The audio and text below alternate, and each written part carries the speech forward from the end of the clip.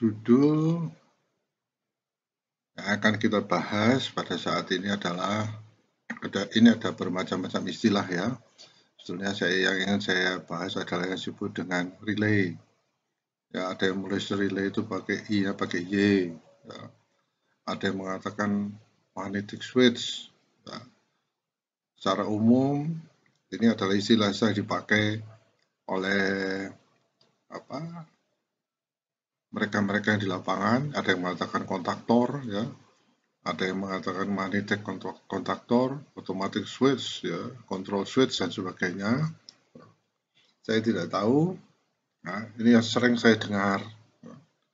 Pada waktu mereka membeli atau mereka menyebutkan komponen dari mesin industri yang disebut dengan relay itu ini adalah istilah-istilah yang dipakai ya.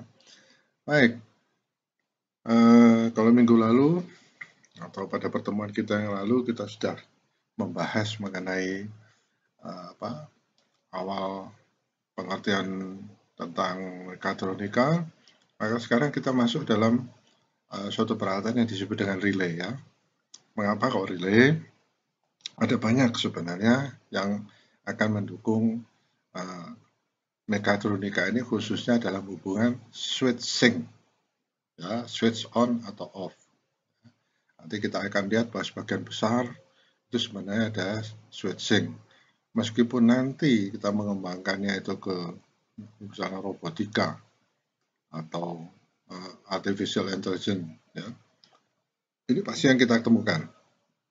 Jadi ini tidak bisa dihindari kalau kita sudah masuk ke dalam artificial intelligence, ya, kita misalnya sudah masuk dalam PLC, ini juga ini adalah yang yang apa tidak bisa dihindari hindari harus kita kenal. Ya. Ini adalah relay. Ya saya mengambil gambarnya ini. Saya browsing ya.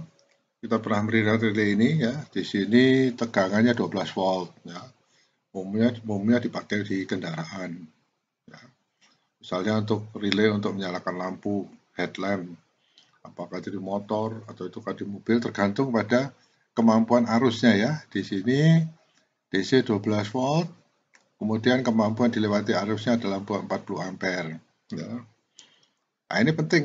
Nanti kita akan lihat ya. Kalau pada saat yang lalu kita sudah uh, diskusikan bahwa ini jangan sampai Anda membuat membeli atau memakai suatu kontaktor yang arusnya di bawah apa uh, arus yang lewat ya jadi harusnya dilewatkan. Jadi sering orang mengatakan bahwa ini adalah penguat ya, boleh dikatakan penguat ya. Jadi artinya hanya dengan misalkan memasukkan dengan melakukan switching dengan 12 volt kita bisa menyalakan lampu atau peralatan dengan tegangan 220 volt misalnya. Nah di sini kita lihat ada diagramnya. Ya. Bagaimana sih relay ini? Ya ini ada diagramnya, tapi nanti ya kita belum sampai ke sini. Ini ada 1, 2, 3, 4, 5 kaki. Nah, 1, 2, 3, 4, 5. Ya, berarti di bawahnya harus ada 5 kaki. Nah, itu ya karena kita sudah masuk sini, saya saya menyinggung sedikit apa artinya ini.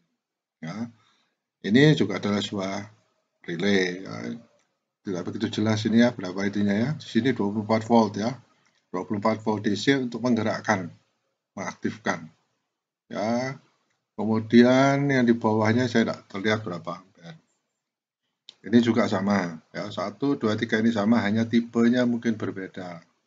Nah inilah yang disebut dengan relay besar. Besar mengapa? Kira-kira kemampuannya, ya ini ada tiga buah apa, apa sambungan.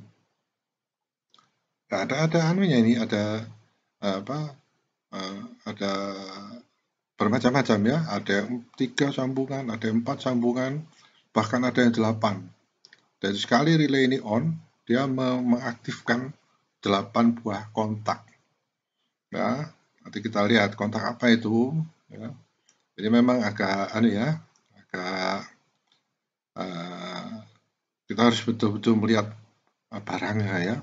Ada yang tiga, ada yang empat, ada yang bahkan delapan. Delapan itu ditumpuk ya tapi saya tidak membahas, membahas ke sana, tapi saya, saya yang saya, saya bahas atau kita diskusikan adalah melihat uh, fungsi dari ininya ya. Ini tidak terlihat ya kemampuannya berapa ampere, tapi saya kira ini besar ya dan tegangannya uh, 20 220 ya. itu umumnya seperti yang di yang kita uh, ketemukan di industri ya.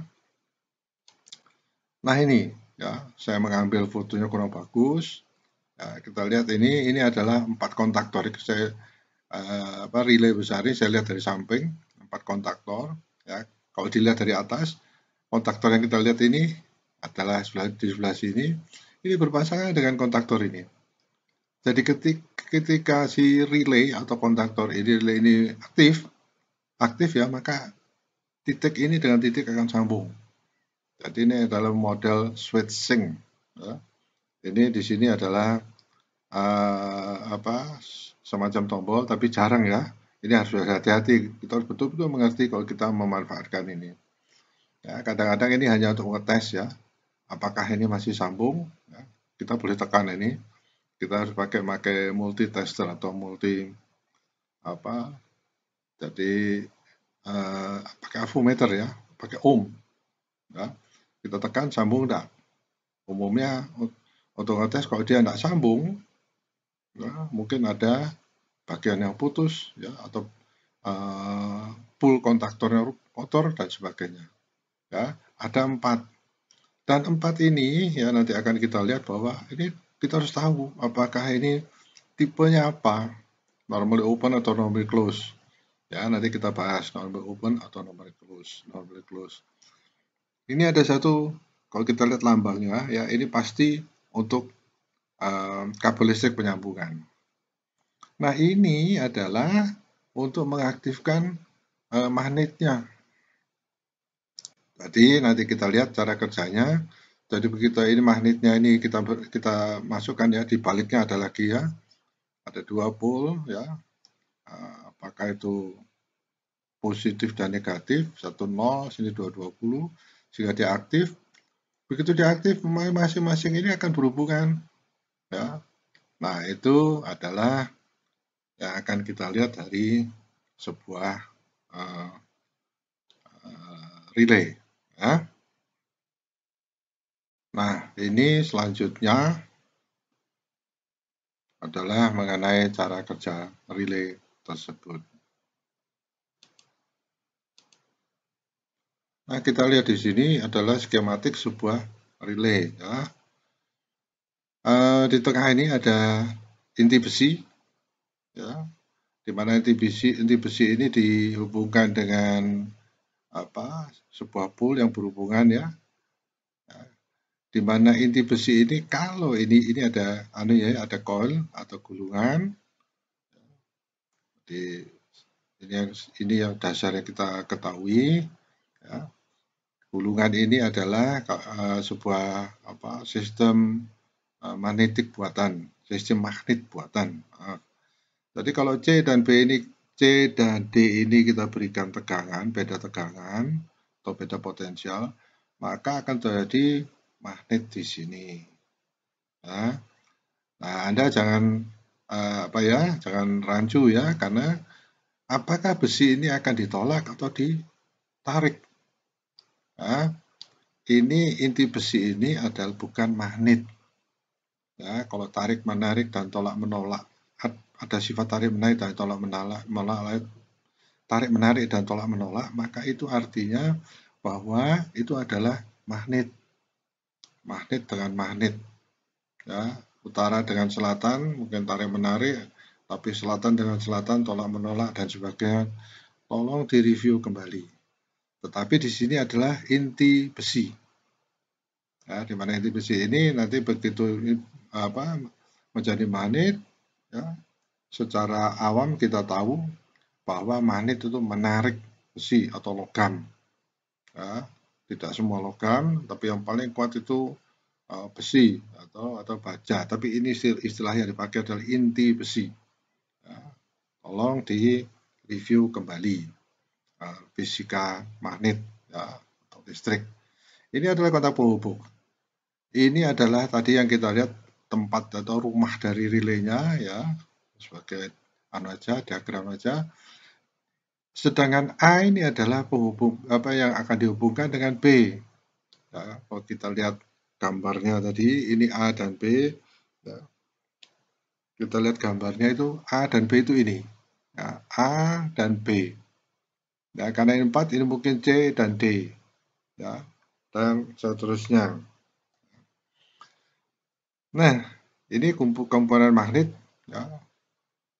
Coba Anda apa, uh, review kembali mengenai uh, satu kom, satu kumparan jumlah kumparan ya bagaimana ya ada ada hukumnya ya rumusnya jangan B I kali L ya I itu arus L itu jumlah apa namanya jumlah lilitan B-nya itu adalah muatannya ya tolong di, di dilihat kembali ya bahwa satu lilitan dengan dua lilitan itu beda kekuatan magnet yang dihasilkan ya Baik, A dan B ini terputus. Ya, begitu listrik saya masukkan, jadi tegangan 220 saya masukkan, maka kita lihat yang akan terjadi adalah inti besi ini akan ditarik. Sehingga A dan B ini berhubungan. Ya. Nah, di sini inti besi ini apa namanya? Uh, meskipun kita memasukkannya di sini itu arusnya kecil, tetapi kalau gulungannya banyak, maka dia punya kekuatan untuk menarik yang cukup besar. Kekuatan menarik yang cukup besar ini menentukan kemampuan si kontak ini untuk dialiri oleh arus. Ya, kita sudah diskusikan pada saat yang lalu, ya, arus itu kalau misalnya ini agak longgar ya, maka akan muncul loncatan api. Ya, kalau arus besar. Itu sebabnya dengan arus yang kecil di sini, tapi gulungannya banyak, dia mampu menarik ya sehingga kontak di sini cukup kuat. Nah, inilah yang disebut A dan B ini yang kemampuannya dialiri oleh arus lebih besar. Nah, jadi relay ini dipakai untuk membantu ya switch kita itu sebuah switch kecil misalnya cuma satu ampere ya tapi dengan adanya uh, magnetic switch atau relay ini kita bisa me, apa, bisa menghantar listrik atau bisa menyambungkan listrik dengan arus yang lebih besar. Ya, itu. Tadi itu salah satu fungsi dari relay. Nah, sebagai contohnya, Anda bisa men-switch lampu di mobil dengan lembutnya. Ya, switchnya lembut ya, artinya dia kemampuan dilewati arus kecil. Ya, kalau dia itu sekali ya karena kita lihat tekanannya tidak terlalu besar, tetapi dia bisa menyalakan lampu mobil dua kali uh, 100 uh, watt. Ya. Padahal tegangan dari mobil itu adalah cuma 12 volt misalnya. Sehingga satu lampu itu 10 ampere, dua lampu 20 ampere. Switch kita itu cuma setengah ampere, ya. Switch kita nanti di sini cuma setengah ampere, tapi bisa dilewati oleh arus sebesar 2, 20 ampere itu sebabnya relay ini fungsinya adalah untuk uh, dila, uh, untuk uh, melewatkan arus yang lebih besar ya. Jadi kita lihat bahwa itu adalah relay-relay yang kecil-kecil ini ya kita lihat di mobil. Sedangkan ini yang kita ketemukan di industri ya. Baik, ini switchnya uh, kalau kita saya berikan listrik maka dia menjadi on. Begitu listrik mati, dia off. Nah, jadi seperti itu. Nah, jadi banyak ilmu yang mendukung di sini. Ya, sifat magnet, kemudian kemampuan jumlah gulungan, ya, BI, B, BI kali L ya, jumlah itu menarik berapa besarnya gaya. Ya, jadi supaya kita bisa kontak ini bisa lebih eh, apa, lebih rapat ya, tidak terjadi kelonggaran. Nah, pada waktu listrik tidak ada, maka kontaknya ini terbuka. Nah, inilah yang disebut dengan normally, artinya normally tidak ada intervensi dari luar, ya. Dia tidak berhubungan. Ini disebut dengan normally open. Nah, kita mulai mengenal istilah itu ya. Nanti karena kita akan lihat bahwa itu yang uh, dominan ya akan kita lihat di dalam merangkai sebuah uh, sambungan uh, apa, rangkaian mekatronika. Ya. Nah ini ada switch yang lain. Ini adalah relay ya yang di, di mana tegangan ya uh, tegangan belum diberikan di sini. Ya. Kita lihat ini kondisinya berbeda dengan yang tadi. Sebelum kita berikan listrik terjadi sambungan. Ya, tentu ada mekanismenya ya. Uh, saya sebenarnya punya videonya, ya, saya sudah buat videonya untuk menunjukkan bahwa ini ada pekasnya ya.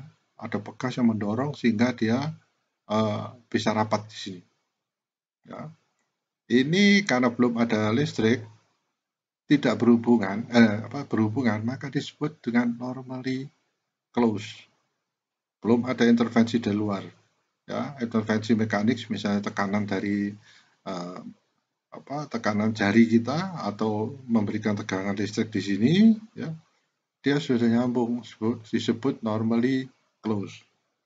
Begitu listrik saya masukkan ya yang terjadi adalah dia putus ya, jadi kita menarik ini ya kemudian putus ya jadi ada dua jenis yaitu yang normally open dan normal close. Ini yang normally uh, close ya. Kita lihat yang di yang dihubungkan dengan tip besi adalah yang bagian bawah.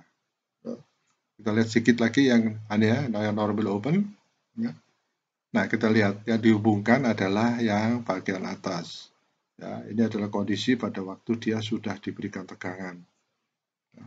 Sedangkan ini normally open, belum diberikan tegangan, apa dia uh, eh maaf ini sudah ya jadi ini normally close sebelum diberikan tegangan kemudian kita perhatikan ya titik besinya ini akan turun setelah setelah coil ini diberikan tegangan ya sehingga begitu kita masukkan listrik dia akan memutus ini adalah tipe relay normally open.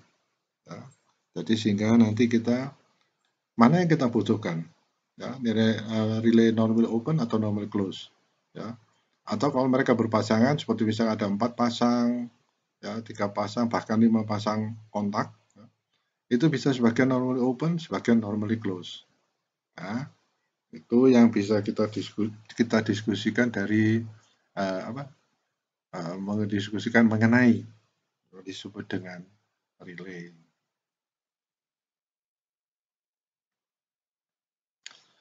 kalau Maksudnya, maksud saya, apabila kita sudah apa uh, paham dengan normally open atau normally close ya. Nah, umumnya lambangnya adalah seperti ini ya. Ya, saya sedikit masuk apa membahas mengenai normally open normally close ini supaya kita nanti dalam diskusi kita selanjutnya ketika saya menyebutkan normally open dan normally close uh, Anda sudah tahu apa yang saya maksudkan. Lambangnya adalah seperti ini. Ya, ini akan kita diagram yang akan kita pakai nanti ya untuk modeling atau untuk simulasi. Kalau batangnya di sebelah kiri, maka dia disebut normally close. Ya, akan kita gambarkan diagramnya dan ini sangat penting kalau kita nanti uh, masuk dalam uh, apa, uh, apa simulasi uh, PLC, ya, simulasi maupun aplikasi. Sedangkan yang sebelah kanan ini adalah normally open, NO. Normally open batangnya sebelah kanan. Ya. Tidak perlu dia nempel menunjukkan bahwa dia close, tapi kalau apa sudah ada komitmen bahwa kalau kiri di sebelah kiri bahwa ini adalah normally close, kalau batangnya di sebelah kanan ada normally open. Nah, nah kalau saya tadi sudah sebutkan ada intervensi dengan memberikan listrik pada apa pada lilitan ya. Sekarang saya ingin menunjukkan kalau itu intervensi diberikan secara mekanis ya nah um, ini adalah eh, jenis-jenis uh, uh, apa penghubung ya, ya ini di, ada sebut dengan push button kalau merah umumnya ini merah itu adalah untuk stop hijau ini ya ini kurang bagus fotonya. Ini adalah untuk start ya. Terus bentuk di sampingnya adalah seperti ini ya. Secara umum kedua push button ini sama ya. Ya, sama, hanya beda bisa kita ubah ya. Warna merah dan hijaunya, merah dan hijaunya di sini. Ya, ya sehingga kadang-kadang kalau kita beli push button, ya, kita diberikan push buttonnya, tetapi juga diberikan uh, salah satu uh, tambahan ya. Kalau ini merah diberikan tambahan yang warna hijau yang bisa kita ganti. Ya, kalau kita ingin memakai start, ya push buttonnya sama, hanya warnanya berbeda. Nah, bentuknya kalau dilihat dari samping adalah seperti ini. Ya. Kemudian ada juga sama dengan push button ini, tapi ini bentuknya adalah fake ya, skakel. Begitu kita switch kan, ya, yang bawah ini bagian bawah ini sama. Ya. Kita switch kan ada reaksi di uh, apa namanya uh, pool-pool sambungannya, ya sambungannya ini. Nah, saya menggambarkannya khusus dari samping ya. Ini supaya kita lihat. Nah, ini kalau saya perbesar, sama barangnya ini tapi saya perbesar fotonya bagian atas ini ya kalau push buttonnya belum ditekan dia akan bersambungan ya. Ini sebenarnya transparan ya tapi, tapi tidak terlihat ya kontaknya ya. Uh, sedikit terlihat ya bahwa ini ada normally close. Sedangkan, sedangkan di bawahnya itu normally open. Ya nanti akan saya tunjukkan diagramnya. Sehingga kalau kita tekan ya maka yang atas terputus yang bawah tersambung Nah inilah yang kita pakai yang saya, saya katakan kita, pakai kapan kita memakai pool-pool ini oh, pada waktu kita merangkai, pada waktu aplikasi uh, merangkai uh, sistem apa, otomatisasi pada mekatronika. Ya. Secara umumnya yang bawah ini, ya, karena dia normally open, dipakai untuk start sehingga pool ini yang kita hubungkan, sehingga ini adalah sebuah skakel. Ya. Begitu tekan tombol startnya, dia akan sambung. Jadi seluruh rangkaian akan bekerja. Sedangkan yang atas ini, ya mungkin kita pakai untuk yang merah, ya atau stop. Jadi dia sambung. Ya, jadi beda ya. Apa? Misalnya button ini dipakai untuk stop, eh, untuk start, maka ini yang dipakai. Nah, Oke. Okay. Ada sekarang kita anggap? Button lain yang kita pakai. Ya. Kalau start yang kita pakai adalah eh, kalau stop yang kita pakai adalah ini. Ya, karena dia begitu kita tekan, dia memutuskan arus. Ya. Nah, logika itu nanti akan kita lihat pada waktu kita buat rangkaian dengan simulator yang dibuat oleh Fluid Sim. Ya. Nah, kita lihat ya, ini adalah skema dari push button tadi. Ya. Yang di atas ini normally close ya karena pegas itu menekan ke atas jadi yang ini normally close ya. Beda dengan yang tadi saya tunjukkan normally close dan normally open itu di sebelah kiri dan sebelah kanan ya. Tapi kita lihat logikanya ya adalah seperti ini. Ya. Tapi waktu menggambarkan di diagramnya dia tetap merupakan jadi ini tetap uh, lambangnya adalah close dan open ya. Seharusnya gambarnya saya tidurkan ya, sehingga terlihat bahwa ini normal close dan ini normal open. Ya, tetapi logikanya adalah kita ketika tidak melakukan intervensi, tidak melakukan intervensi, tidak menekan tombol ini, ya, ini didorong oleh pegas.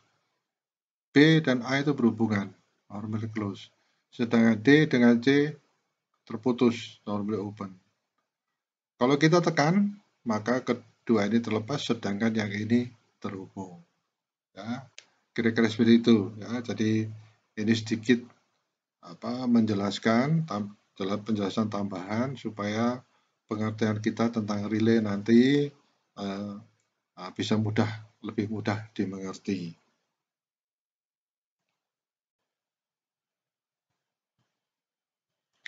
Um, sekarang saya lanjutkan lagi ya mengenai relay ya Gambar saya mudah-mudahan tidak membingungkan Anda. Ya. Saya berusaha menjelaskan. Ya. Jadi kita lihat ini, ini ada sebuah relay dengan empat pasang normally open. Jadi ini yang tadi AB, ini CD, dan sebagainya. Ini ada empat pasang. Satu, dua, tiga, empat. Ya.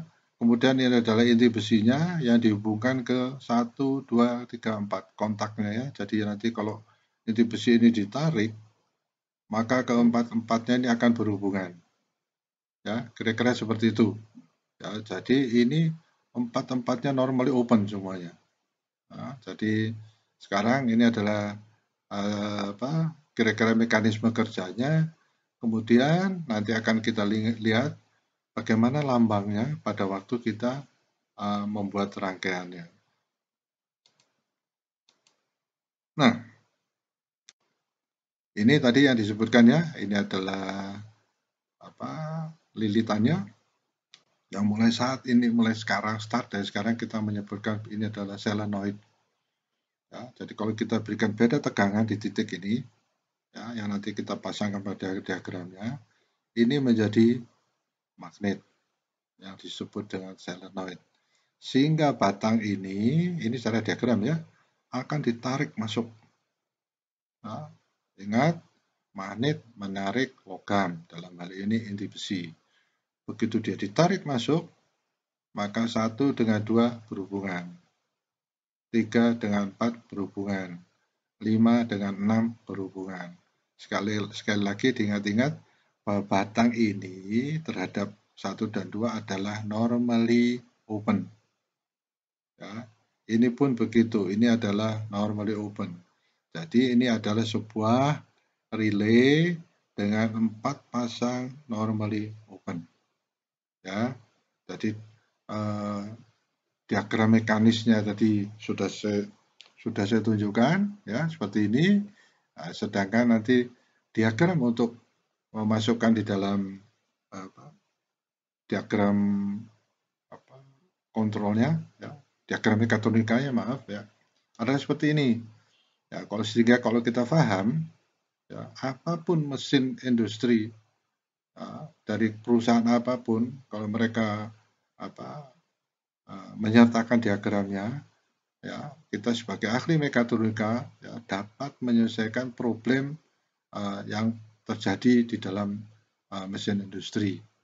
Ya, sebagai contoh, ya, ya saya saya pernah apa, berkecimpung di khususnya mesin-mesin uh, plastik, ya, sistem blow molding, ya, blow molding, plastik blow molding, dan juga juga uh, plastik uh, injection molding. Rata-rata kontrolnya ada seperti ini. Dan kalau Anda perhatikan, di banyak mesin secara umum, ya, mesin-mesin industri memakai kontrol seperti ini. Nah, baik kita lanjutkan. Ini semua normal open ya, kita perhatikan. Ya, nah, sekarang kita masuk. Salah satunya adalah normally close. Nah, ya, dan itu ada. Ya, tipe relaynya harus kita tahu ya tipe relay yang mana ada serialnya ya kalau satu normal open berapa apa apa serial apa atau empat pasang empat pasang normal open apa ya kita bisa lihat ini hanya untuk bayangan ya ini adalah contoh ya dari sebuah relay tadi saya katakan mudah-mudahan anda mengerti gambar ilustrasi saya ini satu, dua, tiga pasang ya, berpasangan dengan di depannya, itu adalah normally open. Sehingga kalau inti besi ini ditarik oleh magnet, maka mereka berhubungan. Ya. Sebelum ada intervensi, mereka terbuka, tidak tersambung. Ya. Sedangkan yang pada ujung keluar paling depan ini, itu adalah normally close. Ya. Sebelum jadi kalau misalnya inti besi ini ini ada batang tambahan ya untuk ilustrasi aja. Begitu inti besi ini ditarik turun dia terputus. Maka pada bagian ini ini adalah pasangan satu pasang normally close nah jadi eh, yang dinamakan relay itu ada bermacam-macam nah, kalau kita membeli ya kita harus tahu serinya ya serialnya Pertama yang kita perhatikan adalah kemampuan dia apa, nyambung ini bisa dilewati berapa ampere. Kemudian yang kedua adalah berapa normally open dan berapa normally close. Normally close nah, ada banyak gitu ya. Uh, saya mencoba mencari apa, daftar serialnya, serinya ya. Apa ada ya tipe-tipe dari magnetic switch ini ya yang satu normally close dan tiga normally open misalnya. Ya. Tadi saya uh, belum menemukan, tapi ingat saya ya pada waktu saya masih di industri itu ada, ya sehingga kalau uh, kita memesan apa namanya uh, komponen ya itu ada serialnya ya dan serialnya sudah pasti benar ya. seperti itu jadi ini adalah contoh sebuah relay tiga, dengan tiga pasang normally open dan satu pasang normally close ya. nah kemudian diagramnya akan kita pakai uh, di uh, apa diagram mekatronika ya dan nantinya juga BLC adalah seperti ini.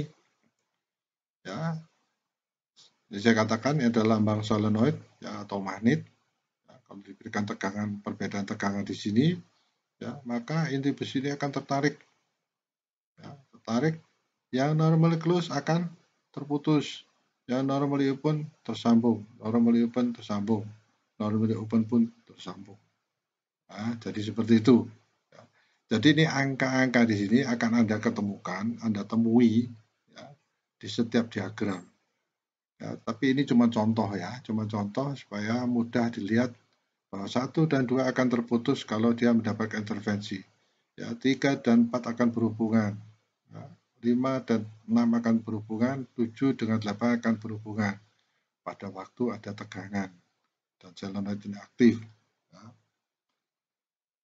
Jadi itu adalah yang apa yang perlu kita ketahui mengenai yang disebut dengan relay.